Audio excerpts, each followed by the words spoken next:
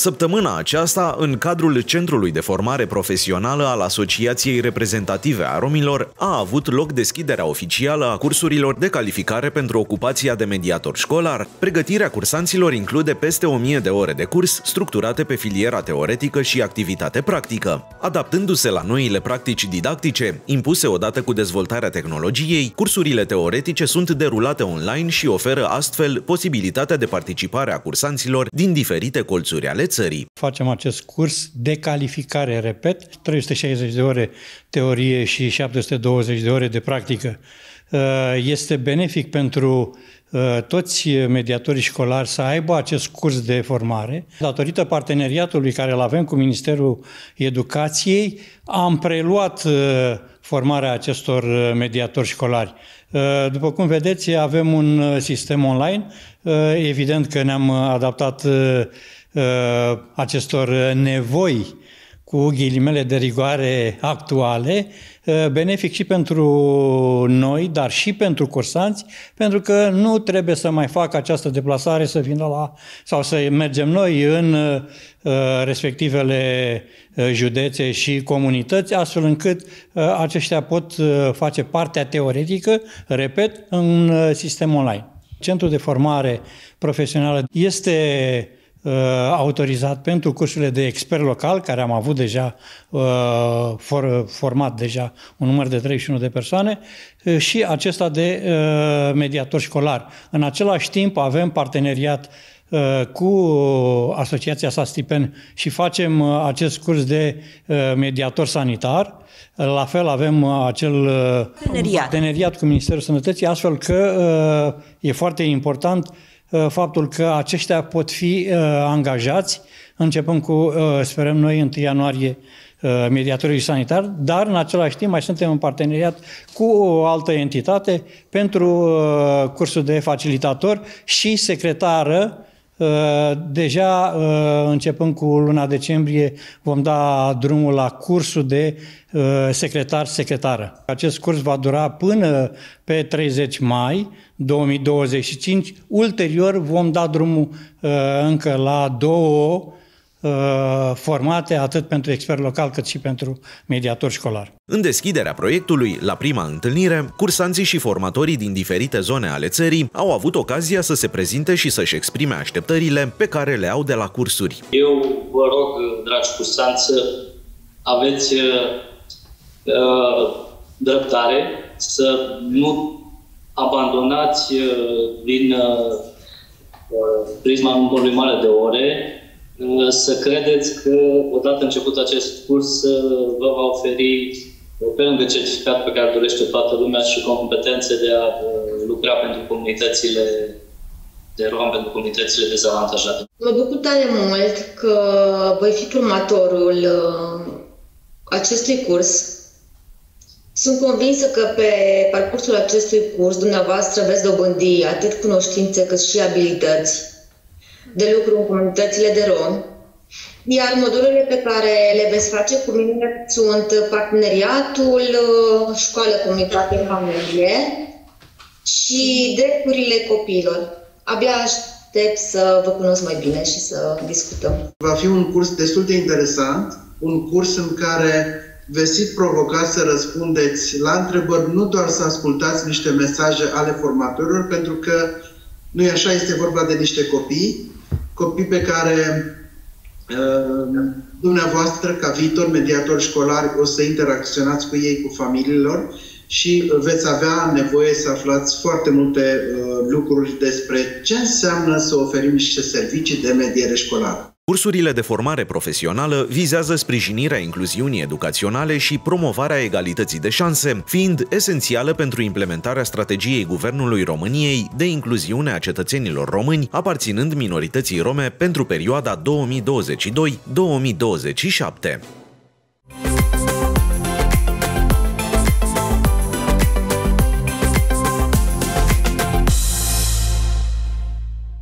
Bun găsit, dragi prieteni, la o nouă ediție a emisiunii Rom pentru România.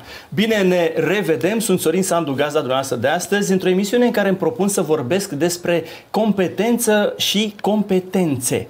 Competența, meritocrația, concepte mult clamate în ultima vreme, ehm, foarte mult vorbite, discutate în ultimii 10 ani într-o perioadă de Românie educată, așa cum este uh, proiectul sau cum a fost, iată că se apropie de final, proiectul președintelui. Din păcate, se pare că rezultatele nu s-au arătat, nu au fost pe măsura intensității cu care uh, s-a uh, um, vorbi despre acest proiect România Educată. Dar nu vorbim despre România Educată, ci despre competență și competențe, iar invitatul meu de astăzi este domnul Daniel Rădulescu, președintele Centrului Romilor pentru Politici de Sănătate SASTIPEN, doctor în sociologie și fost președinte al Agenției Naționale pentru Romi. Bine ați venit, domnule Daniel Rădulescu. Mulțumesc și vă mulțumesc pentru invitație.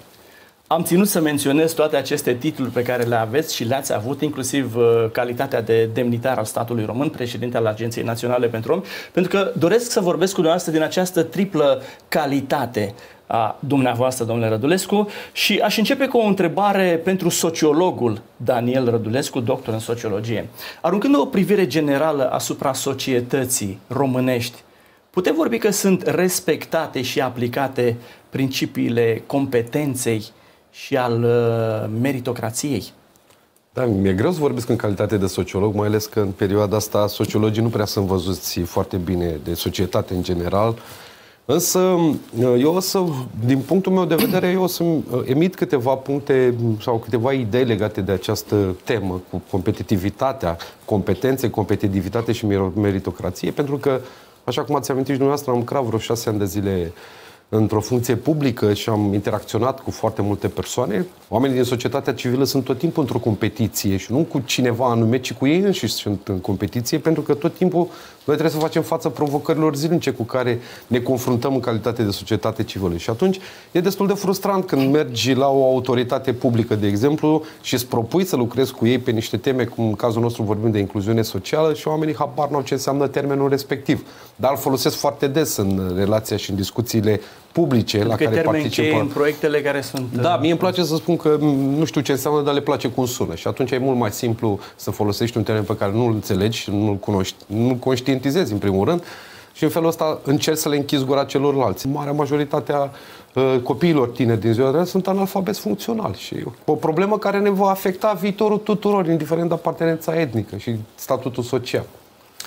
Ce ar fi de făcut pentru a rezolva, vorbesc tot cu sociologul uh, Daniel Rădulescu, pentru a în condițiile în care sociologii au probabil și păreri în ceea ce privește rezolvarea unor situații. Și eu cred că cel mai important este să se investească în formare de programe de formare continuă. Dacă vorbim de partea instituțională, deci la sfârșit de an fiecare angajat uh, este evaluat de către superiorul lui ierarhic. Da? Și în funcție de evaluare, ei să stabilește un plan de dezvoltare personală în perioada, pentru perioada următoare. Dacă s-ar ține cont de aceste planuri de dezvoltare și s-ar organiza cursuri de instruire continuă, cu siguranță da, ușor, ușor mergem către meritocrație, da? nu doar că suntem acolo pe poziții.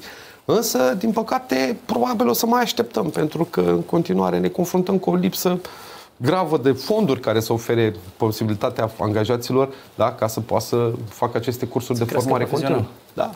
E interesant pentru că veniți și din perspectiva instituțională și din zona instituțională și din zona independentă, să zicem, exact. și atunci e interesantă perspectiva noastră. Um, aș vrea să, să mă leg de președ, să vorbesc cu președintele Centrului Romilor pentru Politici de Sănătate, SASTIPEN. Pentru cei care nu știu, SASTIPEN în limba romanii înseamnă sănătate. Uh, Știu că vă ocupați și v-ați ocupat în ultima vreme foarte mult de mediatorii sanitari, de formarea și de pregătirea mediatorilor sanitari și uh, tocmai că am avut în introducerea emisiunii noastre acea știre, acea, acel material despre uh, cursurile de, pentru mediatorii școlari. În momentul de față, acești mediatori sanitari, vorbim despre mediatori sanitari, îndeplinesc criteriile de performanță cerute uh, pentru poziția pe care o ocupă și pentru activitățile pe care ei le efectuează? Întrebarea pe care dumneavoastră mi-o adresați este o întrebare destul de dificilă pentru mine, pentru că știți că noi suntem și formatori. Eu sunt formator de mediator sanitar încă de când s-a înființat această meserie în România. Și eu am capacitatea să evaluez programul ăsta de la început și până în prezent. Pe piața format, formării în domeniul medierii sanitare, o piață liberă, da? Toată lumea organizează cursuri de formare, noi nu avem nicio problemă cu asta. Însă eu fac um, așa, mea culpa de multe ori, pentru că am întâlnit și doamne mediatoare sanitare care nu au făcut cursuri cu noi, cu cei de la Sastipen sau nu neapărat cu Sastipen, dar cu oameni care sunt vechi în activitatea asta și care țin încă de uh, uh, uh, cum să spun, ideea inițială de când s-a pornit programul ăsta de mediere sanitară. Care au fost conectați la această da. idee încă de la început. Da. Acum, în ultima perioadă, văd că marea majoritate a doamnelor care vor să facă cursul de mediere sanitară văd ca o oportunitate de angajare. Ceea ce nu e rău. Adică, până la urmă, uneori toată lumea vrea să facă un curs de calificare pentru a obține un loc de muncă. Însă, noi la cursurile de formare, chiar dacă inițial vin cu această abordare, că vrem să facem curs de mediator sanitar doar ca să pot să mă angajez, cursul pe care eu îl țin, eu, eu lucrez foarte mult la implicarea lor în viața comunităților locale. În sensul că, în momentul în care ți-ai asumat dorința asta de a te face mediator sanitar, trebuie să înțelegi că nu e o meserie ușoară. Adică nu e o meserie în care te trezești de dimineață, te duci, ai semnat o condică și te duci acasă să-ți faci treburile deci personale. Așa apare, adică activitatea da. în comunitate ne fiind foarte intensă. Le spuneam la fetele, noi acum suntem tot așa într-un curs de formare, formăm undeva la vreo 280 de mediatoare sanitare să le pregătim pentru anul viitor, în cazul în care să ivesc oportunitatea de angajare, să avem oamenii pregătiți. Eu le spun tot timpul că munca de mediere sanitară, chiar dacă pare că este ușoară, este una dintre cele mai grele meserii pe care le poate face cineva la nivel de comunitate locală. De ce? Pentru că lucrezi cu omul. Și e foarte greu să lucrezi cu omul care se află în nevoie. Și important este să nu le înșeli așteptările oamenilor, pentru că tendința este să te implici foarte mult în activitatea asta, însă că toți ați vorbit de competitivitate și competențe, da? de multe ori chiar dacă tu, ca om care lucrezi la nivel de comunitate, vrei să rezolvi o problemă, te, te, te, te ai niște bariere din partea realitate. angajatorului, de exemplu, care ah. nu înțelege de foarte multe rolul mediatorului sanitar. Drept dovadă că nu am mai discutat de mult cu dumneavoastră, dacă faceți aminte, în pandemie, atunci s-a ieșit în evidență cât de importante sunt doamnele mediatoare, mediatoare sanitare, pentru că până atunci nu ai. Ce faceți? Vrem să scăpăm de aceste uh, poziții. Da? Dar în momentul în care au văzut că a venit pandemia, pandemia și că nimeni nu-și dorea să meargă în comunitățile economice, atunci s-a pus presiune și prețuire, în același timp, pe activitatea mediatorilor sanitare, care, din păcate, în perioada aia erau total, de, total descoperite, nu aveau niciun material de protecție, dar și-au făcut treaba. Și asta a contat și pentru, pentru asta trebuie să le mulțumesc public tuturor mediatorilor sanitare pentru munca pe care au desfășurat atunci și pentru munca care a desfășurat acum. Însă, întorcându-ne la activitatea de mediere sanitară, v-am spus, dacă stăm să ne gândim, în ultima perioadă, da, acum vorbim de, și de schimbarea de generații, pentru că generația nouă de mediatoare sanitare sunt fetele care, acum 20 de ani, când s-a lansat prima dată programul de mediere sanitară, erau probabil bebeluși da? și au crescut, uh, uh, au acces la informație, acum avem na, Și ceva mai multă școală, să zicem, da, adică da, e important da, și Dar, din păcate, ăsta. și aici avem o problemă, pentru că, de obicei, comunitățile care au nevoie de mediator sanitar sunt comunități rurale, comunități sărace și acolo știm că nivelul de educație este foarte scăzut din perspectiva accesului la școală, la, da, la participarea la școală. Și mm, în continuare menținem această, acest criteriu de a avea 10 clase. Însă, dacă, după cum știți și dumneavoastră, mai nou s-a lansat un nou ordin de ministru în care spune că începând cu anul acesta, nivelul de studii este de 12 clase. Adică cei care vor termina anul ăsta 12 clase. Deci ușor, ușor o să tindem către 12 clase, chiar și bacalaureat, pentru că, că deci se, cere, se cer doar 12 clase fără, nu neapărat necesar bacalaureatul. Din câte Acum, în momentul de față, la cursurile de mediere școlară, dar la cursurile de mediere sanitară încă acceptăm cu 10, 10 clase, clase, da, studii minime, conform legislației în vigoare. Dar pentru asta iar, aici iar sunt anumite provocări, că te duci la nivel de autoritate locală și fiecare, chiar dacă avem o hotărâre de guvern de 324, HG 324, normele metodologice de aplicare a legislației în domeniul asistenței medicale comunitare, încă să fac, uh, hai să nu le spun abuzuri, dar încă să interpretează legea în funcție de interesul local. Și aici iar o chestiune și de asta, când vorbeam înainte de emisiune cu dumneavoastră, noi am făcut și un ghid al mediatorului sanitar, care explicăm pas cu pas tot ce are de făcut de la autoritatea locală, cum se coordonează programul din perspectiva Direcției de Sănătate Publică, rolul societății civile în procesul ăsta de susținere a activității mediatorului sanitar. Adică am pus în acest material, pe lângă sufletul nostru, celor care am crescut în programul ăsta de mediere sanitară, toate informațiile astfel încât să clarificăm odată pentru totdeauna ce trebuie să facă acest mediator, această mediatoare sanitară. E vorba numai despre doamne. Dar Avem și bărbați angajați mediatori sanitari, însă Asta e o altă discuție pe care n-aș vrea să o abordăm acum. A zis, uh, ați amintit de uh, blocajele pe care uneori le pun autoritățile statului. Poate că ar trebui și un ghid ghid al uh, autorității statului în relația cu mediatorul ca să fie și din perspectiva cealaltă oamenii învățați cum să, cum să relaționeze. Avem așa ceva. Aveți? Există, avem, da? și, avem și un îndrumar adresat autorităților publice locale cum să lucreze cu mediatoarele sanitare. Adică de la cum să introduce în organigramă poziția de mediator sanitar, cum să solicită resursele financiare de la Ministerul Sănătății, până la cum trebuie să le gestioneze activitatea, bineînțeles, în parteneriat cu Direcția de Sănătate Publică, pentru că coordonarea metodologică a mediatorilor sanitari este la Direcția de Sănătate Publică. Și dacă tot vorbim de bariere și dacă îmi permiteți, Vă rog. Uh, să știți că uh, noi în continuare discutăm despre statutul fragil pe care îl are mediatoarea sanitară la nivel de comunitate locală, pentru că după cum știm, medierea sanitară a apărut și într-un context nefast pentru comunitățile noastre de rom, și anume conflictele interetnice.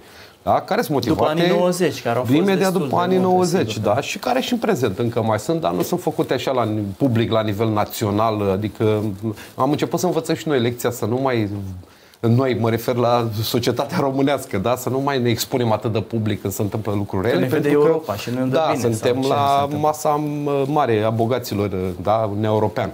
Însă, în continuare, România este una dintre țările la nivel de UE care încă mai are o problemă cu conflictele astea motivate de ură rasială. Deci, uh, comunitățile astea uh, locale nu au cunoștințe suficiente cu privire la legislația în domeniul antițiganismului sau antidiscriminării. Iar că spuneam de statutul și fragil al mediatorilor sanitare, ne referim la faptul că în 20 de ani, noi am lucrat în perioada asta, avem un studiu pe tema asta, în, ultimii, în, în 20 de ani de activitate mediere sanitară, să știți că nu avem niciun caz de discriminare raportată de către, sau măcar, um, nu neapărat raportat, dacă mai, mai, mai degrabă da, adus în atenția publică. Dar poate da? că n-au existat, adică nu s-au confruntat acele doamne cu aceste situații sau poate că s-au obișnuit atât de mult încât nu li se pare că ar fi o discriminare. Mm-hmm. Care ar fi criteriu pentru ca acea doamnă să spună sau să vadă că este un, un caz de discriminare? Sau... Eu, și eu le-am ținut partea și eu am crezut la fel, că s-a schimbat sistemul și acolo unde avem mediator sanitar nu se practică discriminarea. Însă, în practică, situația este total diferită și vă spun, foarte pe scurt despre acest material. Vă rog. Deci, uh, noi am pornit de la premisa că fiecare dintre noi ne-am confruntat când am mers la medici sau la spitale cu fenomenul ăsta de respingere pe criteriu etnic. Da? Adică eu unul sunt unul dintre exemplele care de-a lungul timpului, de câte ori m-am dus la spital pe undeva, până să le spun eu cine sunt și așa mai departe, m-am confruntat cu chestiunea asta de respingere și nu o pățesc numai eu, pățesc mult mai mulți Uh, etnici romi atunci când se adresează sistemului de sănătate publică. Special la unități de primiri urgențe și chiar și în relația cu medici de familie. Și... Asta e interesant ce spuneți, adică da. totuși sistemul sanitar n-ar trebui să țină cont de aceste Teoretic, da. diferențe da. etnice, să Practic zicem. se întâmplă chestiunea asta și e o chestiune care, din păcate, nu reușim să o punem pe agenda publică de discuții, pentru că omul când este discriminat atunci când merge la medic, nu își menține dorința asta de a uh, lupta pentru drepturile lui și a se sancționa. data viitoare cu același medic. Pe de o parte și doi la mână, omul nu se duce acolo ca la discotecă, da? Se duce care are nevoie de să-și rezolve o problemă medicală. Și de, de multe ori situațiile astea sunt trecute cu vederea. Încă avem saloane segregate în unități medicale și sunt multe chestiuni care din păcate, nu sunt la nivelul de discurs public uh, aduse în atenția publică și care să atragă un semnal de alarmă, alarmă decidenților uh, de la nivel național. Și mă refer aici la cei care aplică legislația în domeniul discriminării. Dar iertați-mă, fac o paranteză și revenim la idee. Doamnă, în calitate de reprezentant al unei organizații care se luptă pentru sănătatea romilor și care are relație de multe ori directă cu uh, instituțiile, cu Ministerul Sănătății, cu alte instituții, Ați semnalat aceste situații? Noi am semnalat și suntem una dintre organizațiile care am demonstrat că în sistemul sanitar există discriminare. Și care a fost uh, reacția pe care ați Una dintre reacții a fost că ușor, ușor cu, cu comisiile et, et, etice de la Colegiul Medicilor au început să ia act de această situație și au schimbat procedurile. Ușor, ușor. Deci eu vorbesc de faptul că este o problematică la nivel național. Dar lucrurile să știți că evoluează. Ușor, pași, pași mărunci, dar important este că evoluează. Însă problema și, e la noi. Vă rog, pentru că noi avem uh, foarte mulți oameni angajați în sistem. Mă refer la vreo 460 de mediatoare sanitare, mă refer la mediatori școlari. De foarte multe ori sunt martori unor situații de discriminare cu care se confruntă beneficiarilor și nu fac altceva decât să întoarcă spatele. Dar este în fișa lor de post să da, semnaleze aceste lucruri sau uh, doar așa ca, o, ca, ca și uh, o datorie morală? Acum să le... între noi fie vorba, care sunt rolurile măsurilor afirmative? Care este rolul măsurilor afirmative? De ce angajezi personal de etnie romă dacă personalul ăsta de etnie romă nu sancționează derapajele cu care se confruntă oamenii beneficiarii de etnie romă? În sensul că tu nu faci, dacă tu accepti ca și angajat rom situația de discriminare care se întâmplă la nivelul instituției în care tu lucrezi, practic tu ești garantul da, comportamentului așa să spunem așa, antisocial, eu pot să-i spun așa, cu care, pe care îl manifestă persoana respectivă. Da? Și în ultima perioadă, de exemplu, avem de-a face cu, în limbajul de specialitate se, numește, se numesc microagresiuni, în sensul că marea majoritate rasiștilor folosesc chestiunea asta. Uite, ăla nu e ca tine, ce bine ar fi să fie și ăla ca tine. Adică, într-un fel sau altul, te afectează. Da? Adică, comportamentul ăsta e o chestiune învățată, care cât am vrea noi să-l eliminăm, mai avem de lucru pe tema asta. Și de asta spun... nu se schimbă așa de ușor, e adevărat. Ideea Dar este că la... nu vorbim doar de mediatorul sanitar, pentru că dacă stai de vorbă cu doamnele mediatoare, vă spuneam cum cercetarea noastră, noi am făcut chestiunea asta, am stat de vorbă cu ele, uh, multe au spus în felul următor, avem nevoie de protecție, pentru că dacă nu vrem să scoatem în evidență, că s-ar putea să ne pierdem locul de muncă. Chestiune de înțeles, da? Însă problema este că dacă stai de vorbă și cu oamenii din comunitate, adică din perspectiva lucrătorilor noștri, nu există discriminare oficial, da? dar dacă stai de vorbă cu beneficiarul lor, îți dai seama că situația este total contrară. Da? Și eu așa, o situație care te determină să te gândești de două ori înainte de a organiza cursuri de formare în domeniul medierii sanitară și să te focusezi strict doar pe fișa aceea de post, care în mare parte nu spune nimic. Doar că te determină ca tu să fii din ce în ce mai bun și mai activ la nivel de comunitate ca să previi situațiile neplăcute care apar în comunitate din punct de vedere social-sanitar. Ar trebui ca în acele manuale, ghiduri de mediere sanitară să introduceți cumva și un uh, îndrumar de activism sau etică. De, de etică sau ceva care să, să-i facă pe acești oameni să fie și activiști. Pentru că ce îmi spuneți dumneavoastră, eu văd că este rolul activistului, dar iată că și mediatorul de fapt este un activist pentru drepturile omului, dincolo de uh, activitatea lui principală, aceea de relaționare, de mediere între comunitate și instituția sanitară. Cu, cu riscul de a lua hate de la toți colegii mei romi care lucrează în instituțiile publice și în special cei din mediul, din, din uh, localitățile, localitățile, județele din țară, Așa clar că trebuie să ne readucem aminte asupra faptului că trebuie să, de, să redevenim activiștii care eram înainte de a ocupa pozițiile respective. Și e o chestiune pe care eu afirm de câte ori am ocazia. A acest lucru, nu? Da, nu mai, parcă nu mai vedem lumința de la capătul tunelului. Și e o chestiune la, la nivel general. Asociațiile neguvernamentale ale romilor se confruntă cu o problemă foarte mare, adică lipsa resurselor financiare care să le permită derularea de programe și proiecte, da? Și dacă stăm și ne gândim, ăsta e rolul societății civile, nu? Să piloteze fel de fel de instrumente de lucru și dacă sunt bune, să le predea mai departe statului. Suntem foarte puțini care am rămas în societatea civilă și facem eforturi în fiecare zi să supraviețuim și e o chestiune de competitivitate, dacă tot vorbim de competențe. Ministerul Fondurilor, de exemplu, acum a lansat în consultare publică un uh, ghid de finanțare uh, adresat incluziunii romilor și una dintre probleme este că romii ca organizații neguvernamentale nu sunt parteneri eligibili și e o chestiune un pic ciudată în sensul că tu, ca expert care lucrezi în domeniul respectiv, practic ești eliminat din categoria de, de beneficiari eligibil. Nu e eligibil pentru că sunt criteriile foarte înalte sau pentru că nu, nu. îndeplinește condițiile de profesionalism nu, care nu, sunt necesare? Nu. Eu, eu, uh, când vorbim de competiții pe fonduri, da, trebuie să oferi posibilitatea tuturor actorilor implicați, în special celor care cunosc subiectul, să participe la competiția respectivă. Dar dacă tu nu mă lasă să particip la competiție, despre ce competitivitate vorbim aici? Și nu se pot da? Uh, amenda aceste... Acum noi, colegii mei suntem așa un grup de, o coaliție informală, Roma Forum ne numim noi, adică prieteni care ne întâlnim uh, cu resurse limitate și în care încercăm să schimbăm lucrurile din perspectiva asta de advocacy, da? de a milita pentru a schimba lucrurile. Și lucrăm acolo la un material să nu neapărat să contestăm, dar să recomandăm revizuirea acestor criterii, pentru că ușor, ușor, organizațiile neguvernamentale rome, nu vorbesc de cele pro-rome, vorbesc doar de cele rome, sunt ușor, ușor limitate, limitate și eliminate din competiții. Da? Asta este, n-am mai auzit această idee până acum, recunosc, și mai ales pusă din gura cuiva care a avut și o funcție de demnitate publică. Ehm, și e mm, de necrezut, adică, până la urmă, romii sunt cei pentru care se fac acele proiecte. Și romii. De, și romii, și romii, da. adevărat. Și cum să elimin din cursă exact pe cei care lucrează pentru comunitatea, se întâmplă. pentru comunitatea lor. Și uh, nu sunt răutăcios, dar se întâmplă. Sunt situații pentru că aici este vorba de faptul că, încă o dată, vă spuneam, avem o structură de mediator sanitar, mediator școlar și așa mai departe, care sunt, sunt o grămadă de oameni care sunt angajați în sistem. Avem organizații neguvernamentale care activează așa cât se poate la nivel de comunitate locală.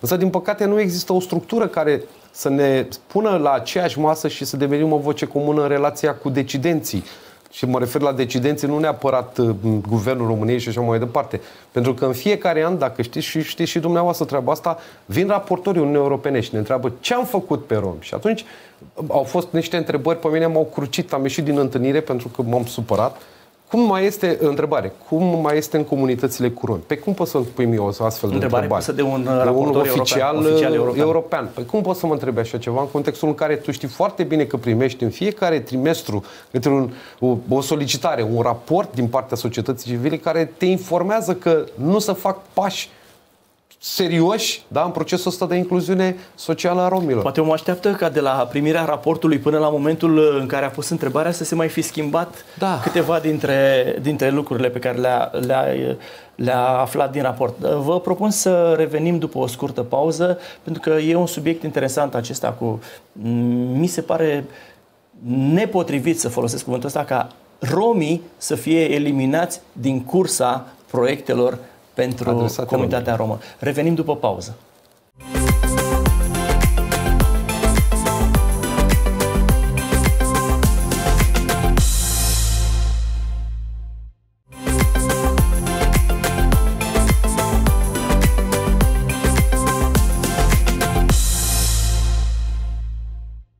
Revenit, ziceam de acea situație pe care mi-ați menționat-o, în care romii sunt eliminați, organizațiile ale romilor sunt eliminate din cursa pentru proiecte dedicate comunității rome.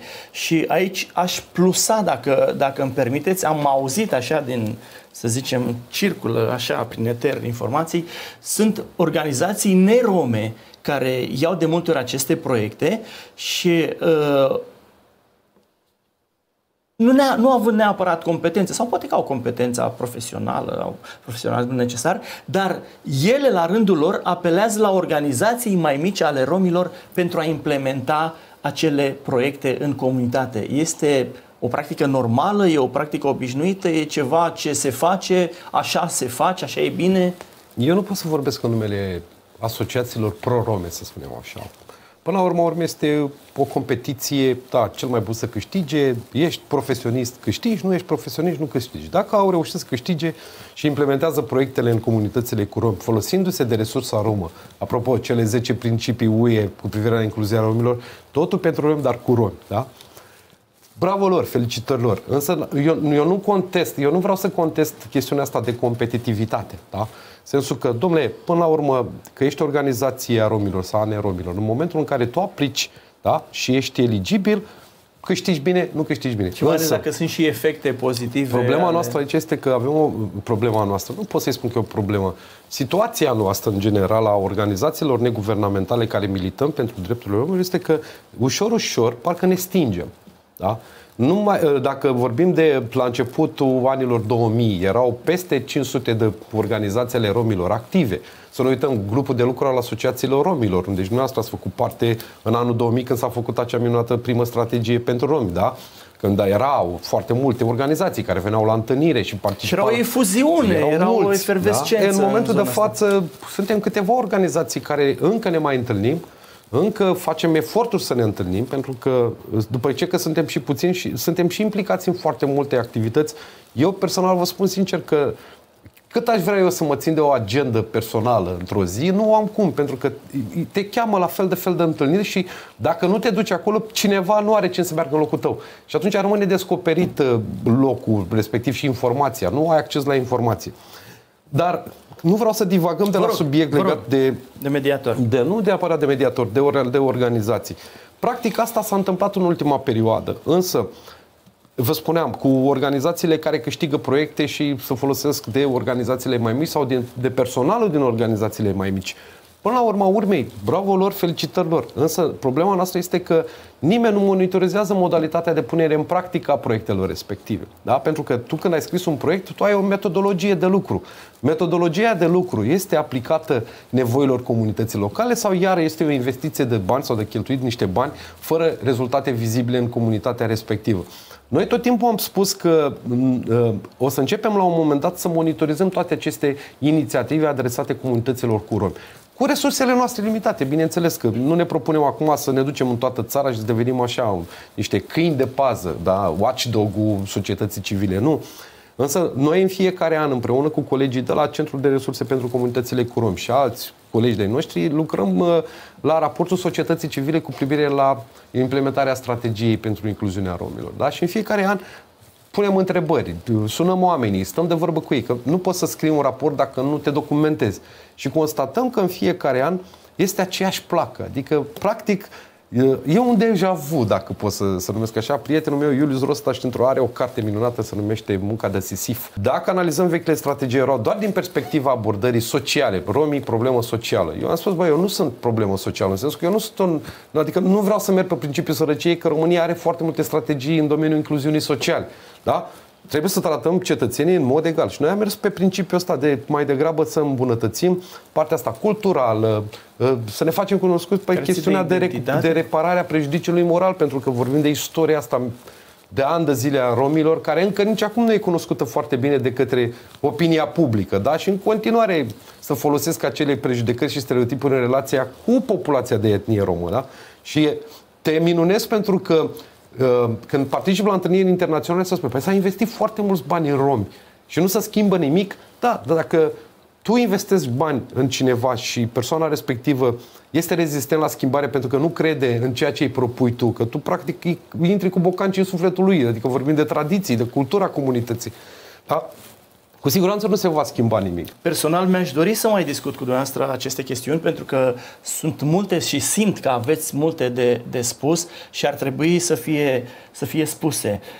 Um, Totuși problema, și ca să încheiem așa într-unul, două minute, uh, revenind la, la mediatorul uh, sanitar sau mediatoarea sanitară, cum uh, ziceți dumneavoastră, știu că și lucrați la un ghid în momentul de față, dar problema nu este cumva totuși că de multe ori într-o relație problema nu e unidirecțională, e bidirecțională. Nu este și la romi de multe ori problema?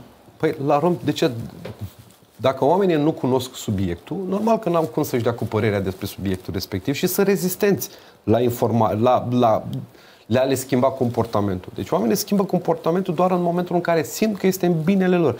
Dar dacă eu vin și ți impun cu forța să schimb comportamentul fără să-ți explic de ce este nevoie, da? normal că omul devine uh, irascibil chiar de foarte multe ori, că vrei tu să vii să-mi schimbi regulile în casa mea. Ceea ce este perfect adevărat. Vă spuneam, s-a stipend. Noi ca organizație și eu ca om care am lucrat ani de zile în societatea civilă, eu cred în necesitatea de a schimba anumite comportamente, însă doar din perspectiva dacă oamenii vor. Da? Merg într-o comunitate, noi niciodată n-am implementat proiecte în comunitățile în care noi am activat, doar făcute din birou, ci pur și simplu înainte de toate treaba, noi am făcut o cercetare la nivel local, să vedem, domnule, merită să investim în comunitatea asta sau nu merită sau care să e investim? problema pentru care e, trebuie să da, investești? Noi tot timpul proiectele nu le-am gândit din perspectiva câți bani cheltui. Nu. Ce se va întâmpla după? Pentru că adevărata provocare după ce implementezi un proiect începe după ce ai terminat proiectul sustenabilitatea proiectelor respective. Și de asta spun că proiectele vin și pleacă. Oamenii rămân acolo și vreau să închei prin... Vreau să le mulțumesc tuturor oamenilor care lucrează în mișcarea romilor, în mod special.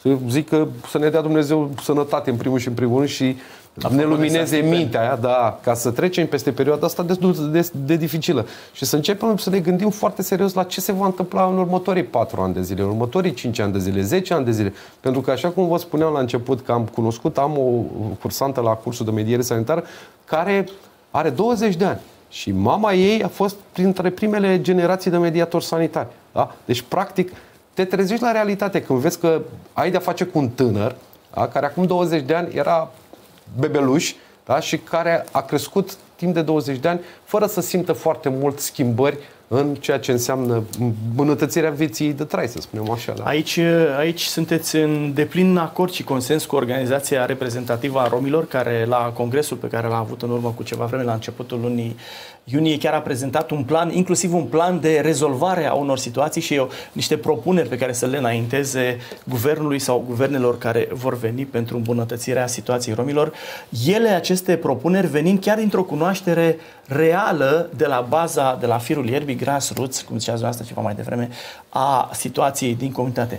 Domnule Daniel Rădulescu, vă mulțumesc pentru informațiile multe și importante pe care le-ați oferit și vă fac de acum invitația să ne revedem la o emisiune ulterioară pentru a dezvolta acest subiect și, desigur, pentru a veni cu noi uh, informații, mai ales că ziceți că vă propuneți să faceți acele uh, verificări ale proiectelor sau cum le-ați numit noastră, care se realizează pentru rom și ar fi interesant de, de, de știut ce se întâmplă. Încă o precizare, dacă îmi permiteți. Vă rog.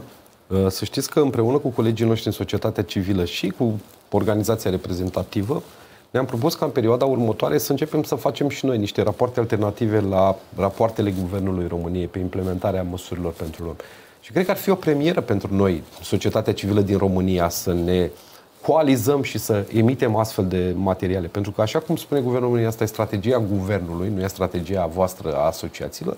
Cred că a venit momentul ca noi, asociațiile, să avem o strategie în beneficiul comunităților cu romi, dar care să provină, ă, să fie fundamentată pe adevăratele nevoi cu care se confruntă. Exact. Da? Și atunci exact. noi să avem strategia pe care noi să ne urmăm în procesul nostru de atragere de fonduri și așa mai departe dar în uh, relație totuși cu autoritățile statului care să, sunt cele care decid. Mulțumesc încă o dată, domnule Rădulescu. Dragi prieteni, schimbăm puțin registrul, mergem la un eveniment cultural, o lansare de carte a profesorului dr. Vasile Burtea, are legătură cu discriminarea, cu interculturalitatea, în cadrul unui eveniment organizat de Centrul Național de Cultura Romilor, eveniment în care a fost și un moment artistic, un dialog cultural, muzică, poezie, Așadar, un eveniment cultural, urmărim materialul împreună.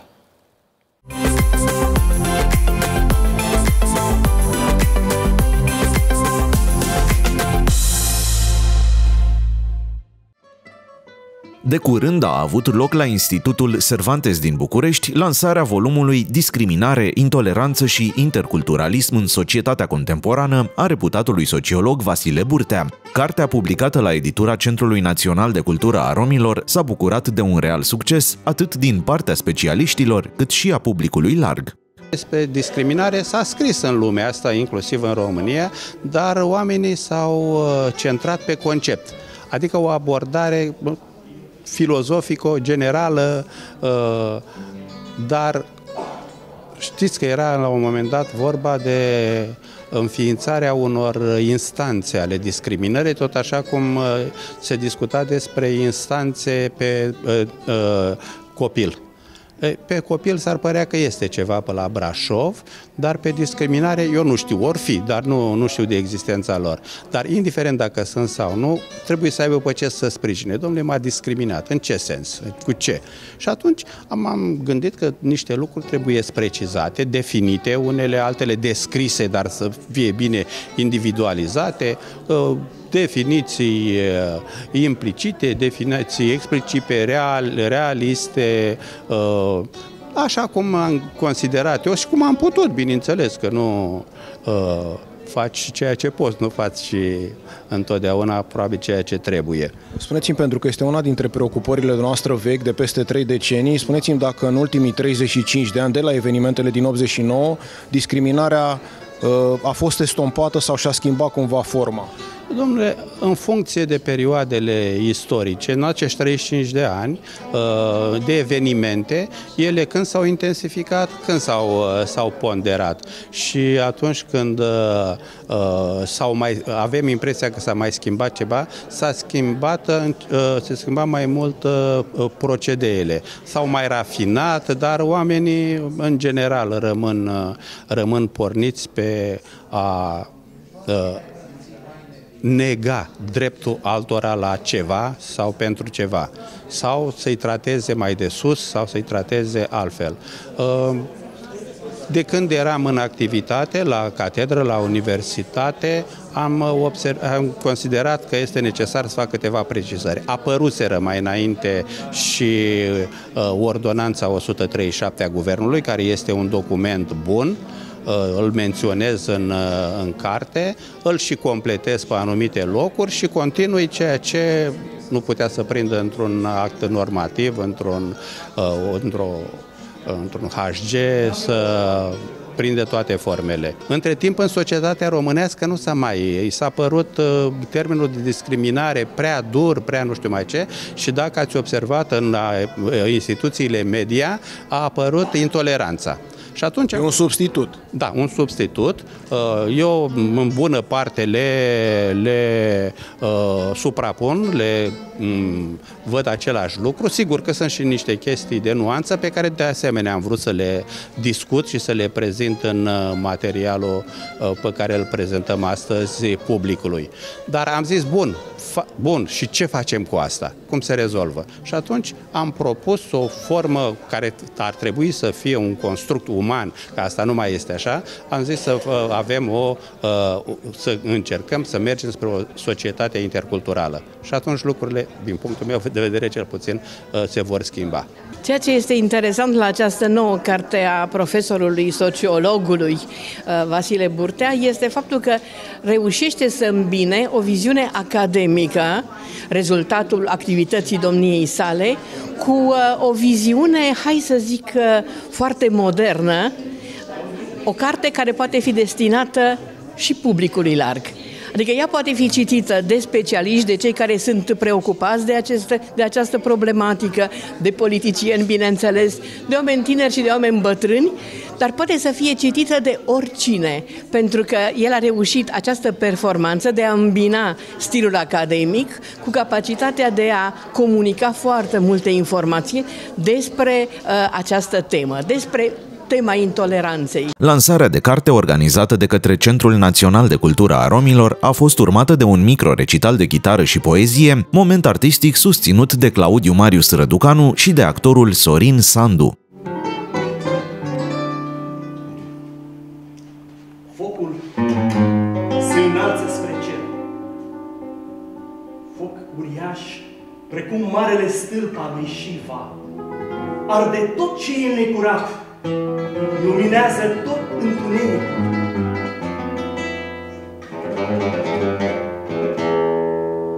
Focul înfierbe sângele rom. Foc uriaș ce, ce se ridică de la începuturile strămoșilor mei din țara zeilor. Hrănindu-se mei bătrâni s-au perindat? Până ca eu,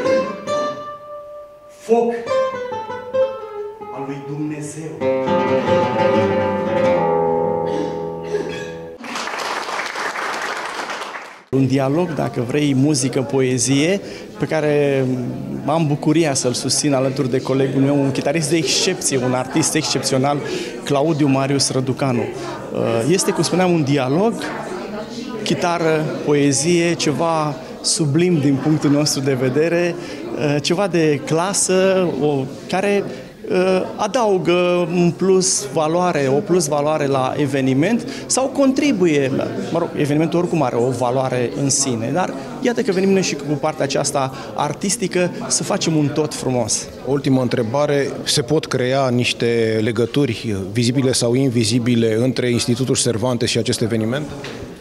Sigur, în primul rând, pentru că aici este locul unde se desfășoară acest eveniment.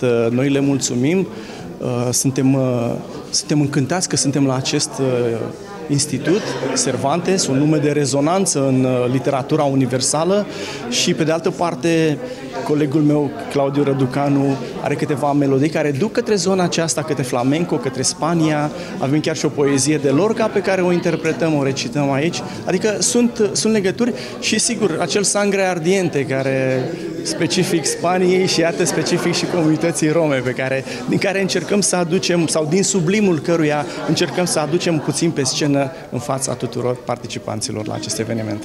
Evenimentul uh, de astăzi este organizat de Centrul Național de Cultură a Romilor, așa cum deja uh, Sper că oamenii, publicul ne cunosc. Suntem o instituție publică uh, și Printre, printre acțiunile, activitățile pe care le organizăm sunt aceste lansări de carte și evenimente în jurul acestor uh, cărți sau în jurul scriitorilor. Ne propunem acest lucru, uh, să creăm uh, spațiul uh, pentru uh, scriitorii rom, pentru cercetătorii rom. Și evenimentul de astăzi, cred, credem noi că Uh, va fi în uh, direcția aceasta.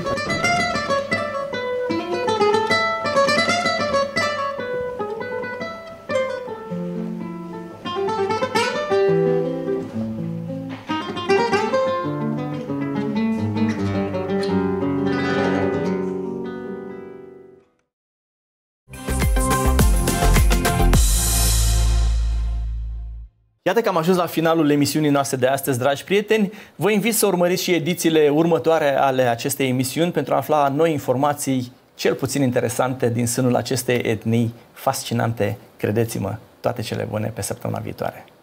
Thank you